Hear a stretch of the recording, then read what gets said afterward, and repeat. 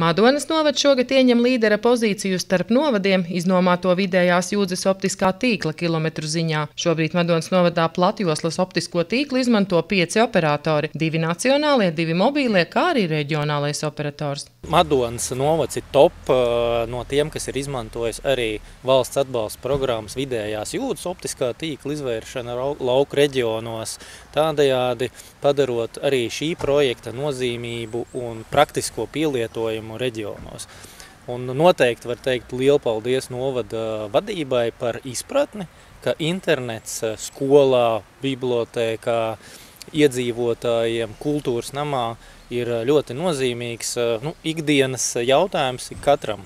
Tādējādi pavarot gan izglītības kvalitāti, kultūras kvalitāti un arī iespēju savstarpēji sazināties, veicināt uzņēmēju darbību, faktiski nodrošināt dzīvību reģionos. Es daudz braukājot pa Latviju esmu dzirdējis no pašvaldību vadītājiem sūdzības par to, ka ir iz, izveidots platjoslas interneta pievads, bet uh, tieši viņš netiek izmantots, lūk, tāpēc, ka valsts nav pievilkusi pie kādas konkrētas mājas. Un šeit mēs redzam, ka Madonā tieši pašvaldība ir nākusi ar iniciatīvu, izveidojusi gan pēdējo jūdzi, gan bijusi iniciatori tam, lai nomātu šo te valsts pieslēgto infrastruktūru, un tas rezultējies ir tajā, ka faktiski visa pašvaldība ir noklāta ar optisko internetu un Tagad Covid apstākļos mēs redzam, ka to aktīvi izmanto gan iedzīvotāji, gan pašvaldību iestādes, un tas palīdz uh, ikdienas darbā. Mēs gadu gadiem esam nepārtraukti prasījuši, čīkstējuši un lūguši, ka mums ir lēns internets, lēns internets.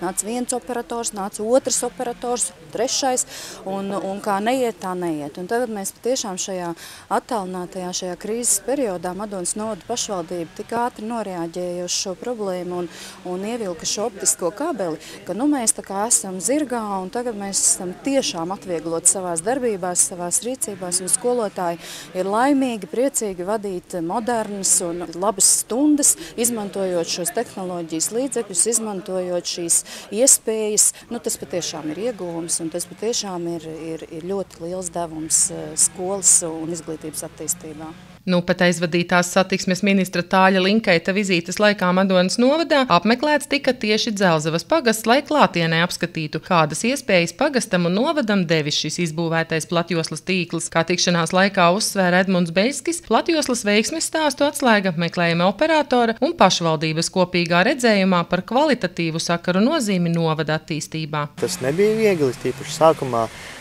pirmie pieslēguma punkti, to izveide pirmās nomas par, par lielo kabeli bija pietiekami dārgas, bet ar katru nākamo punktu pagastu, kas ir apgūts, tas paliek vieglāk un arī lētāk. Taču, kā uzsver Agris Lungevičs, ieguvēji un iegūms ir krietni lielāks nekā sākotnēji varētu šķist. Pirmkārt, jau ieguvējs ir visas pašvaldības iestādes, skolas, pirmskolas pārvaldes, kas strādā caur, caur, caur mobiliem internetu sakariem, jo, jo programmas to prasa un mācību vide to prasa.